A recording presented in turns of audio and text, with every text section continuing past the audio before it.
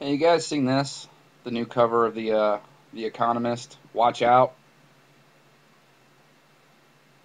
Know why this guy's headed into this monster or uh, mouth of this monster or dragon or serpent or whatever? Because we're walking right into and headed for the belly of the beast. My opinion, anyway. This is some pretty silly shit. So. Big thanks to my subscribers for hanging around.